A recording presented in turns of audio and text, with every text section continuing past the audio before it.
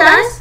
Uh, for this video, we're going to do our first pattern, uh, a very simple pattern, so a good place to start. We're going to make a pattern for a uh, small pillowcase. Uh, and just to give you a little bit of a visual reference, it'll look just like this. This is pretty much exactly what we're going to do. We're going to have um, a, this is the back of the pillow, so it has two pieces that overlap. You can kind of pull them outwards uh, and pull the, put the pillow uh, in between the um, sort of opening that the layers create, and the front is uh, simply uh, one solid piece. Well, not, does, won't have this little uh, uh, seam in it, but this is a good view for the back. I really sort of got to put it back no one has any pictures of the backs of the pillows. Uh, anywho, so one big 16 by 16 piece for the front and two overlapping pieces to create the back. So let's hop on over to the school's computer and get started.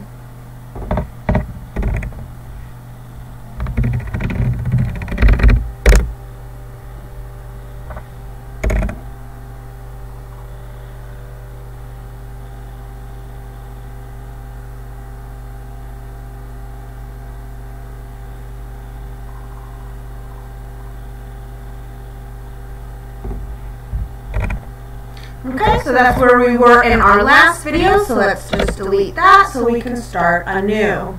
Um, and if you ever want to get anything out of your piece window, uh, you can always right click on it and uh, go ahead and delete it. Oh, sorry, you have to edit cut it. There we go. So we're starting with a nice uh, fresh window. And so we're going to have two pattern pieces, of course, one for the front piece and one for the back piece. And this is again going to be a 16 by 16 square pillow. So um, our piece, new, create new piece, create rectangular piece is going to be the perfect place to start for this. So I'm going to do that. As you can see, here we are, piece, new piece, create rectangular piece. Select that. And I'm going to name it front pillow.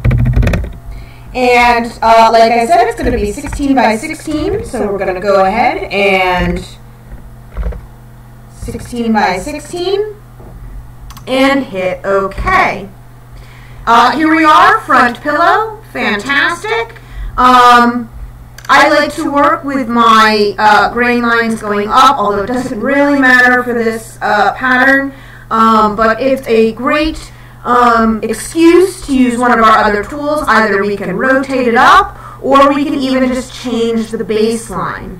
Um, so let's change the baseline. It's a little bit easier. I'm going to set the baseline direction and I like my grain lines going up like so. Again, you don't really need to do that, but if you want to have a little extra practice with some of our new tools, we can. Okay? Now, uh, let's get finished up on our uh, front pillow. Um, there's not too much else to do. Again, this is basically it. We just have to uh, adorn it with all of its accoutrements that it needs. It needs seam allowance, it needs pattern info. Um, and we're going to put a couple notches in there too. We didn't go over notches before. Um, but it is uh, a great thing to have on your patterns. We'll go over a little bit about what notches are when we get there. First, let's put seam allowance on. Now, this is just going to have a basic seam allowance all the way around where it gets attached to the back pieces. Um, so we're going to have an even half inch going all the way around this front pillow piece. So I'm going to use the seam, add seam tool here. And again, like we learned in our last video, if I want an even seam allowance all the way around a pattern piece, all I have to do is pick one of the points on that pattern piece, click once, mm-hmm, then click on that same point again. Okay? So we're going to set that to half an inch in seam width. And I'm going to miter the corners. And again, this is going to allow our corners to be nice and pointy. And there we are. Now we have our seam allowance. Looking good. All right, now let's put um, some pattern information on our pattern piece. Now, it's important to remember that every single pattern piece in a, a garment, or in this case, a pillow, or any sort of unit needs pattern information, it, they all need a certain set of information. Now, some pieces might have a little bit more, a little bit less, um, but they all need some of the basic info pattern information. Every single piece, no matter how small, even those facing pieces, even those little collar pieces, they all need pattern information. And we're going to set that in with our text tool, which I selected up here, or of course you can go to your general tools and, or just hit T as your keyboard uh, shortcut. So I can hit it there. So what kind of pattern information do we need? Um, well, it's always good to start with what's called a style number. And for this, we can sort of put it in as whatever we want. I'm just going to set it as 1, 2, 3, um, because why not? It's just a sort of test piece. Um, so what is a style number? Well, a style number is how pattern makers um, and even sample rooms keep their patterns organized. So this is a very simple pattern. It only has two pieces. But as you can imagine, when we move to more complex garments, like say a jacket, it could have upwards of 20 different pattern pieces. That's quite a bit. And um, if you're our sample house or a pattern maker, you not only have that one jacket with 20 pattern pieces, you have a whole slew of patterns with many different pattern pieces. And it gets a little bit harder to keep it all um, organized, especially when, say, a collar piece or a sleeve piece from one jacket looks awful like a collar or sleeve piece from another pattern. How do I know what pieces go to what garment? Well, that's what the style number does. Every garment or every unit gets a style number. And so every piece in that pattern has the same style number. That's how I know that everything labeled 1, 2, 3 goes to the same garment or the same unit. So if I had a, uh, you know, a, a, a, big wind came through my pattern room and messed up all my patterns, I could still put them back together um, within every garment and every unit. I know that uh, the sleeve pattern piece labeled uh, 456 goes with all the other pieces labeled 456, and this other sleeve over here that's 8910 goes with 8910. So it's important to uh, designate a style number uh, for all of your pieces. It's very good habit to have. It looks professional. And again, uh, I'm sure your uh, pattern collections will be growing, so it will help you keep your patterns together and organized, uh, what pieces go to what. So that's what a style number is. And again, it's an important piece of information to put on every single pattern piece within a garment or within a unit. Okay? The next one we're going to do is we're going to put down a size. Um, so whenever we're working with a specific pattern, we're working with a specific size, whether it be an 8 or a 10 or a small or a medium. Um, we don't typically give pillows numbered sizes, so let's just call this a medium-sized pillow and put it as such. Now sizes will go on every single pattern piece just like the style number. So look at that, every single pattern piece gets a style number, every single pattern piece gets a size.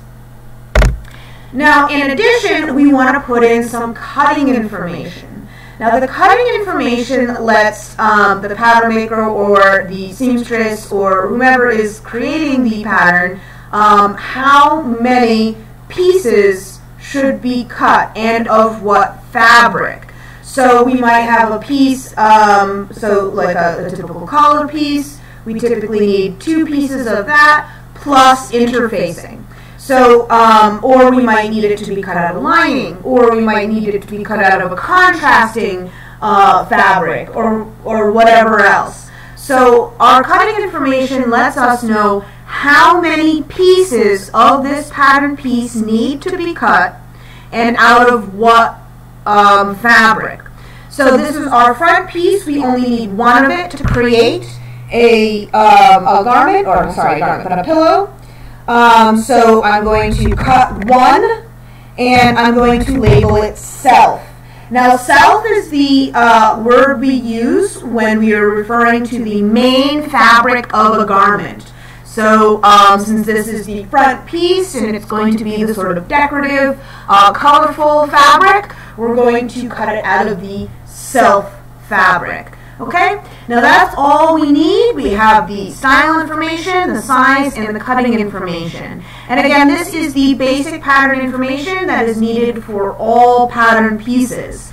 In addition to, of course, uh, a descriptive pattern piece name, which we will get on our grain line, and of course the grain line itself. But it's hard to forget the grain line in Optitex since every piece automatically gets uh, alphabeted with a grain line. We just have to make sure that it's correct. Now, it might look small here, but remember that this is a lot smaller uh, in size than it would be actually. This is sort of shrunken down. Um, so, you know, um, when if we were to ever print this out, it would be a lot uh, bigger and easier to read. So you don't have to really worry about sizing that. If you want to, you can. Of course, you can just make it a little bit bigger with your arrow if you'd like. Um, but again, don't, you don't have to worry about that. Okay, now the last thing I'd like to put on here is notches, but I'm going to hold off on that for a second um, because where we put the notches is going to make a lot more sense after I do the back pieces. Okay, so let's get started on the back piece.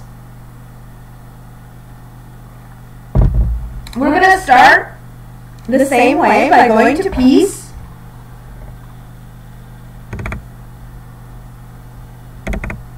new piece, create rectangular piece. Now, it's not going to be the same dimensions, so if you remember that picture I showed you before, it's only going to go up about uh, three quarters of the way and overlap. So um, we'll have about a quarter of overlap in the middle here, and uh, the rest will be sort of just the sheets, and we're going to have two of them here. So uh, the length here is going to match up. It's going to be that full 16 inches, so it's going to have this full span right here. So 16, that's fine. But we only want about three quarters of the distance up here. And three quarters of 16 is, of course, 12 inches. So for that, we're going to put it in right there. And I am going to change it. Actually, I'm going to make a, I'm going to make a mistake and forget to label my back piece properly so I can just review how to change it um, once it's created.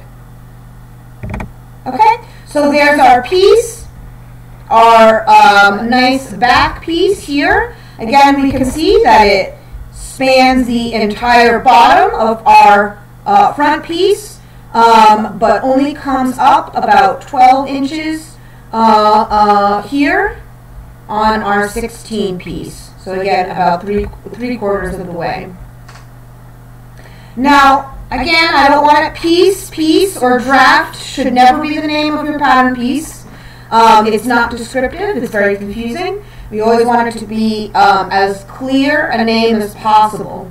So um, my piece properties is already up, so I can go there, but if it's not, we right click on the piece that we want to change and go to attributes. And we can see the piece properties menu uh, pops up. So I'm going to click on piece and change it to what it should be, which of course should be back pillow.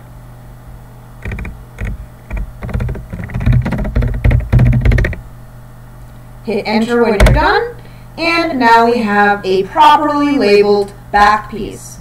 Um, however, our grain is not correct. So if we can imagine how it's going to be layered, it's going to be layered onto the piece like this, and then the second piece is going to come down, and we have that bit of overlap in the middle here. But we see the grains are going in two different directions. So I want the grain line for the back piece to go upright, just like the um, front piece. So when it gets layered on, we'll have the um, grain lines going in the same direction. So let's go to our set baseline direction and correct that grain line. I'm going to click here once and click here again and now we have a matching grain line for the back. Fantastic. Okay, let's add seam allowance. Now the seam allowance is going to be a little bit different than it was on the front.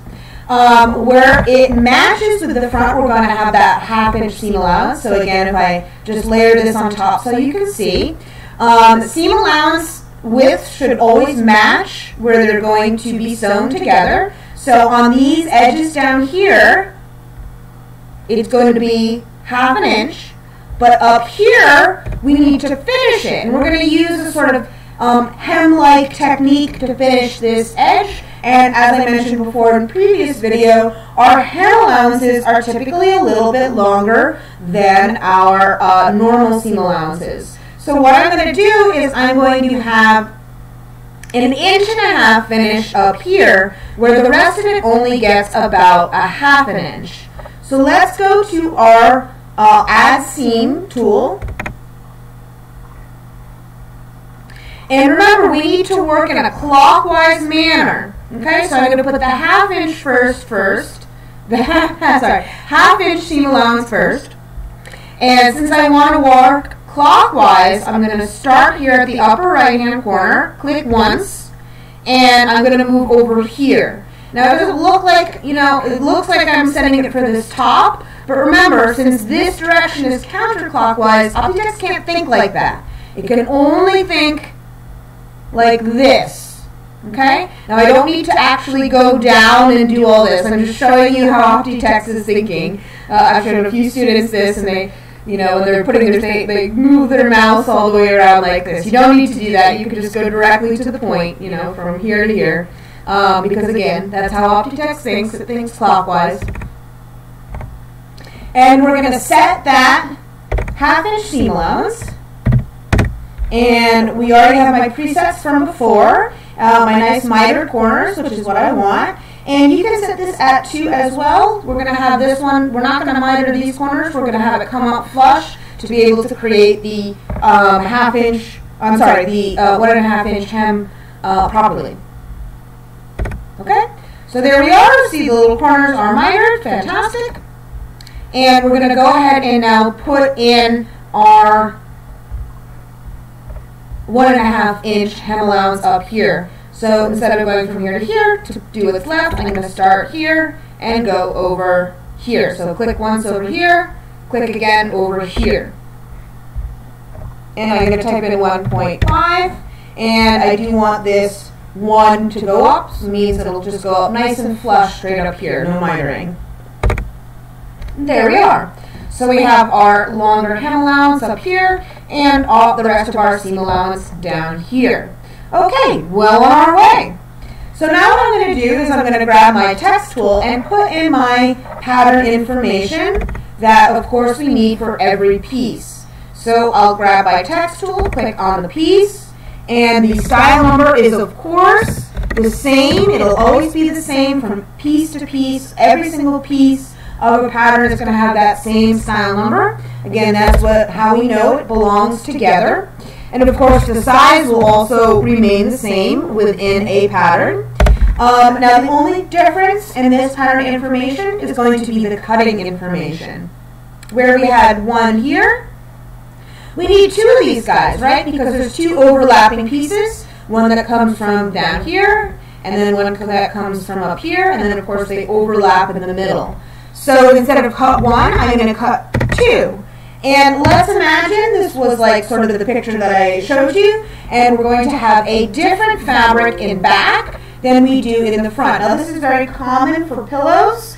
Um, it cuts the price a little bit because usually we'll display them with one side facing out and the other side um, toward the couch or bed or whatever. So um, we'll use a little bit of a more expensive fancy fabric on the front face and then a cheaper backing fabric uh, on the back side. So this is going to be a different fabric for the back, so we need to indicate that.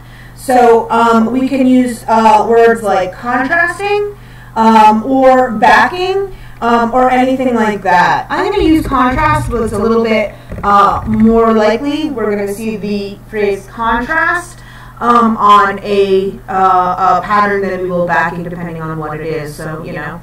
Um, so cut to contrast. So that's letting me know, um, you know, I'm going to cut one piece to create a pillow. I need to cut one piece of this of the self, of the more expensive, um, sort of fancy, maybe patterned or printed fabric.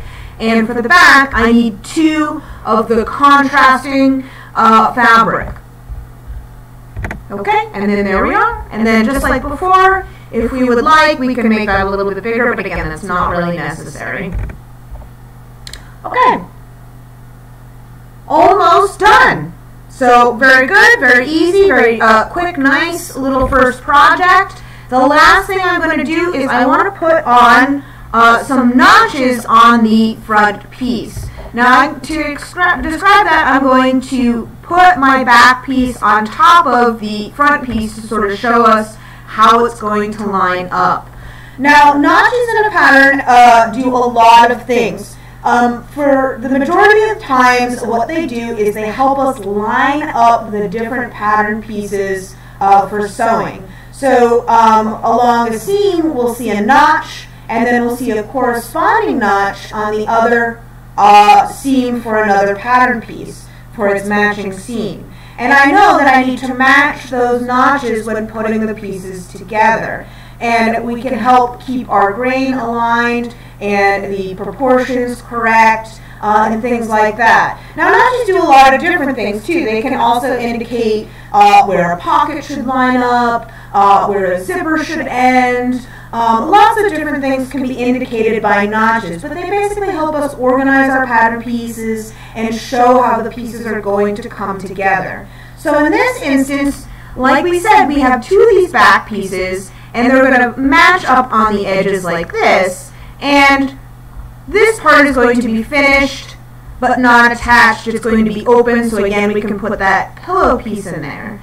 So where I would put notches is to show where this edge is going to end on the front piece. So what I want to do is I want to do that for both layers of the back as well. So I need a notch here and here, but also for the other overlapping piece. So I'll one here and here.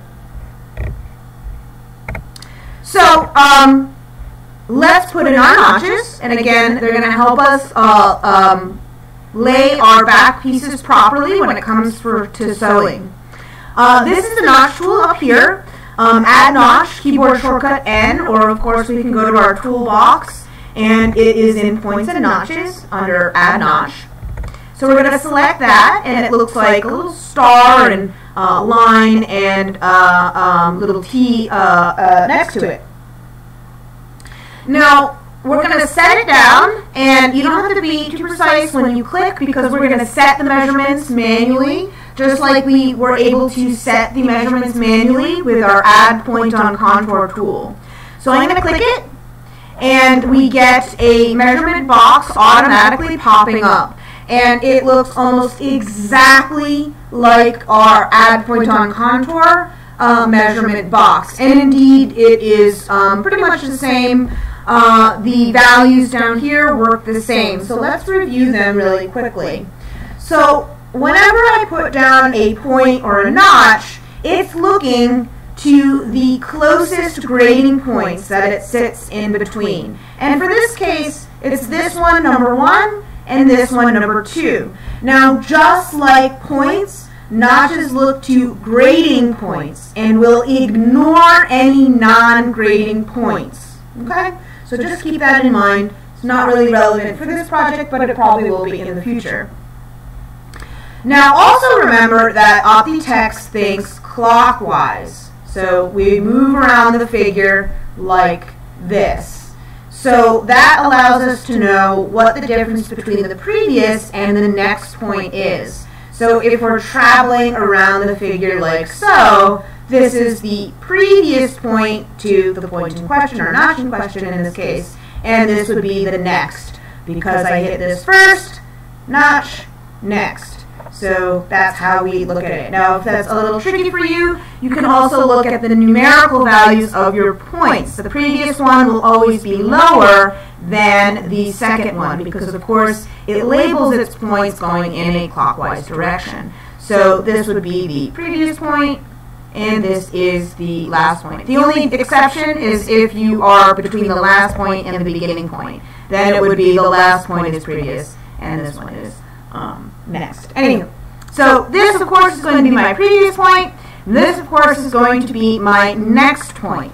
Now, we have a couple options for putting in our uh, uh, measurements. We can do it numerically or we can do it proportionately. So I'm going to do a couple numerically and a couple proportionately, again, just to show you both functions in action. So we know that I want um, a notch where the pieces are going to end. So let's assume that um, this is a little closer. This is for the back piece that's going to come down here. And I know that this distance should be about 12 inches because, of course, this is 12 inches. And this is showing where that edge is going to come across.